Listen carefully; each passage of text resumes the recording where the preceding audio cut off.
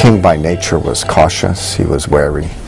He uh, he didn't want to push the country in directions it didn't want to go. Um, and I think he also understood that um, that uh, you know, in spite of the, the very strong ties that Canada had with uh, the United Kingdom uh, at the time, that uh, uh, you know, at the end of the day, um, our proximity to the United States uh, would mean that that's where relations would ultimately develop and flourish mm. and grow. Mm. And, um, and I think anyone who has an understanding of American history, which King clearly did, understood uh, the concept of manifest destiny, which uh, uh has certainly been uh, uh, important in American history and, and the expansion of the 13 American colonies to, to expanding westwards and, and southwards. And, um, you know, great chunks of Mexico uh, ended up being part of the United States, and uh, no one sitting on that northern border could look at uh, uh the development of the United States, uh, at least uh, in historical terms, without having some appreciation of this juggernaut and the potential of that juggernaut to swallow you up. In 1948, Mackenzie King retired. On November 15th that same year, Liberal Louis Saint Laurent was sworn in as Prime Minister of Canada. By the 1950s, American investment in Canada had risen to 76%. In 1914, it had been just 23%. Canada's exports to the United States were growing too. By 1951, they represented nearly 60% of total exports. Britain took in only 16%. The United States military needed aluminum, lead, zinc, and uranium. That led to a resource boom in Canada. But it started to raise questions. No other industrialized country had such an overwhelmingly large percentage of the economy controlled by foreign interests. In 1957, the Royal Commission on Canada's Economic Prospects set off alarm bells. Walter Gordon, its chairman, was appalled by the American penetration of the economy. Times were prosperous for Canadians, though, and they didn't seem to care. But American popular culture was everywhere on May 12, 1958, during Louis Saint Laurent's last month as Prime Minister, the NORAD agreement was signed by the governments of Canada and the United States. It was a continental defense system against possible aggression from the former Soviet Union. There was a bit of a, a backlash in Canada uh, because um, there was this sense then that uh, we were we were doing this too quickly and that we could really reach a point where um, uh, we're giving up too much of our of our power uh, as an independent country uh, to the United States. When bound by a border returns, the Diefenbaker years.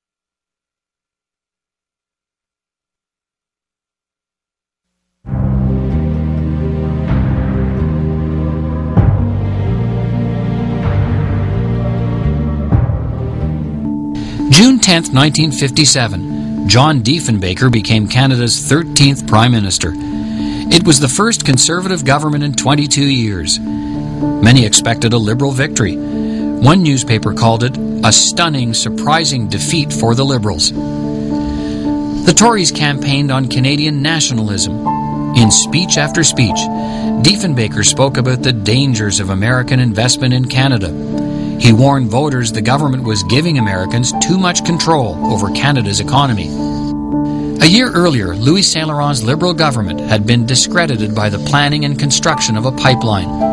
It was to carry natural gas from Alberta eastwards and was to be built by a consortium owned by American interests. It was a billion dollar project the U.S. investors needed an $80 million loan from the Canadian government. The government introduced a bill to authorize the loan. To ensure it went through quickly, they placed a strict time limit on debate. It caused complete disorder, one reporter wrote, that rarely, if ever before, had tempers flared so hotly. It produced the greatest convulsions which the Commons have experienced in decades. Despite the heated debate, the bill did pass, but it did harm the Liberal government. The Conservatives saw the pipeline as a sellout to American investors. Diefenbaker used the pipeline debate throughout his election campaign. He appealed to voters to put citizenship ahead of partisanship, to join him as architects and builders of a greater Canada. I just want Canada first, he said. In one rousing, crusading speech to a crowd of more than 1,500 people in Guelph, Ontario, he called the American pipeline investors those Texas millionaires, those pampered pets. He spoke about selling our irreplaceable resources to the Americans at the expense of the Canadian people. Louis Saint Laurent reassured Canadians the U.S. investment held no danger to them. At the beginning of the campaign, he told one reporter, he was often amused at the concern of some other political parties over the alleged dangers to national sovereignty. He could see no danger from this source. Diefenbaker was an Anglophile. During his first federal election campaign in 1926, he had stated his beliefs clearly. I want to make Canada all Canadian and all British. Three decades later, in 1957, and only a few days after becoming Prime Minister, he went to London to attend a series of meetings of Commonwealth Prime Ministers. Upon his return to Canada, he announced his intention to divert 15% of Canada's imports from the United States to Great Britain. It was an impossible goal. The kind of trade that we had was well established. It was largely raw materials uh, being exported to the States and consumer goods being imported from the United States. Uh, very hard to change that. Diefenbaker, when he came into office uh, in 57, uh, determined that he wanted to shift 15% of Canadian trade from the United States uh, to the UK, and officials asked him, what do you have in mind, Prime Minister? They wrote him a memo indicating the kind of, of draconian measures that he would have to take, and it was never heard from again. After less than nine months in power, Diefenbaker called an election. On March 31, 1958, Diefenbaker's Conservatives won the largest majority ever in Canadian history. They would be surpassed later by Brian Mulroney in 1984. One reporter referred to Diefenbaker as the greatest vote getter in Canada's history. Canadians had embraced him. And then came John F. Kennedy. He was young, approachable, smart, and embodied idealism. Canadians were intoxicated. Well before Diefenbaker met Kennedy, he developed a dislike for the U.S. president. In his 1960 acceptance speech to the National Democratic Convention, John F. Kennedy had said, We stand at the edge of a new frontier, the frontier of unfulfilled hopes and dreams, a frontier of unknown opportunities and beliefs in peril. Diefenbaker said Kennedy had stolen the slogan of New Frontier from him. He had used it in his 1957 election campaign when talking about his vision for the North. In 1961, Kennedy and his wife Jackie visited Ottawa. A crowd of 50,000 gathered on Parliament Hill to get a glimpse of American royalty. The next day, the headlines read Ottawa matches turnouts for royalty. During his visit, the President addressed Parliament, encouraging Canada to join a coalition to increase military ownership in the Cold War era. Geography has made us neighbors. History has made us friends, he told members of Parliament. We must strengthen the conventional capability of our alliance. His address was met with bursts of applause, standing ovations, and cheers. A day of triumph for the President wrote one reporter. He got along all right with Dwight D. Eisenhower, who was the president at the beginning of Diefenbaker years, but things really came a cropper when John F. Kennedy was elected the president. He was young, he was charming, uh, he had charisma, and Diefenbaker had none of those uh, characteristics, and so by comparison, he looked dowdy and old and not very interesting, and Diefenbaker felt that. And so that added to the tension in the relationship. Kennedy couldn't even uh, uh, pronounce his name right. He called him Diefenbacher.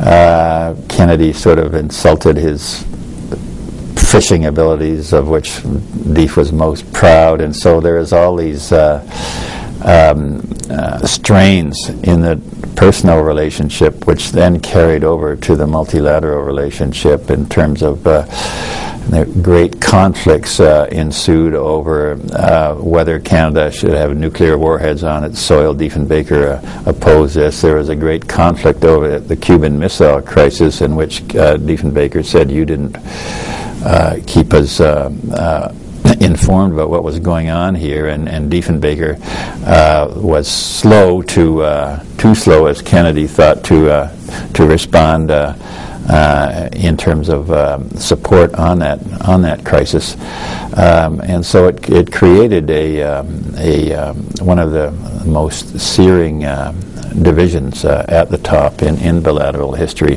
Diefenbaker was of the view that uh, Canada should trade less with the United States, should be less dependent on the United States for its security, uh, and so these kinds of tensions built up uh, to a uh, to a high point or a low point really uh, with the Bomarc missile crisis at the end of Diefenbaker years. Diefenbaker made a commitment that instead of the the interceptor fighters that they had originally agreed to to buy, that they would instead arm Canada with Bomarc missiles, and the Bomarc missiles arrived, but he wouldn't allow the nuclear warheads to go on. And so that became a big election issue in 1963. Uh, the U.S. administration actually intervened in that election, uh, and Diefenbaker lost. Never forgave the Americans for it. Like in 1957, the Conservative campaign of 1963 was nationalistic. Vote Canadian, vote Conservative read their election banners, we are a power, not a puppet, Diefenbaker told the voters. In one speech he gave to 1,500 people in Chatham, he spoke of invisible incognitos working in Washington trying to destroy him. One reporter called it a hellfire brimstone speech. In another in Prince Albert, he pledged not a single inch of Canadian soil would be used as a storage dump for nuclear warheads. In February of the same year, the U.S. Newsweek magazine published a spiteful front page story on Diefenbaker. He was called dim and made to look a fool. Everyone is against me, but the people, Diefenbaker said. You could argue that uh, Washington uh, cost uh, Diefenbaker uh, the election in 1963. So um, yes, the the personal relationships play a, play a huge role in in my uh, uh, looking at Canada-U.S. history. They they they either bring out the worst uh, um, in terms of uh, uh, there's a spillover from the personal relationship into the policy relationship. April 3rd, 1963, the Liberals won 128 seats, the Conservatives 95. Lester Pearson became Prime Minister. The advent of a new government in Canada has naturally stirred all branches of the government to a new hope that progress can be made with this most important neighbor on all sorts of problems, wrote Kennedy's National Security Advisor. Lester Pearson had been the president of the United Nations General Assembly. In 1957, he earned the Nobel Peace Prize. A year earlier, the Suez Canal crisis threatened to plunge the world into yet another war. Pearson proposed a peacekeeping force comprised of soldiers from all nations. The UN agreed, and the first United Nations peacekeeping force was dispatched. Led by Canadian troops, the conflict ended. I think Mr. Pearson uh, had and deserved a lot of respect from the, respect from the international community. Uh, very big commitment to the development agenda, very big commitment to peace generally. His successes in the Suez in the mid 1950s were well respected. So I think you have a natural sympathy for Mr. Pearson and a sense in Washington and elsewhere that Canada was, in fact, playing its legitimate role.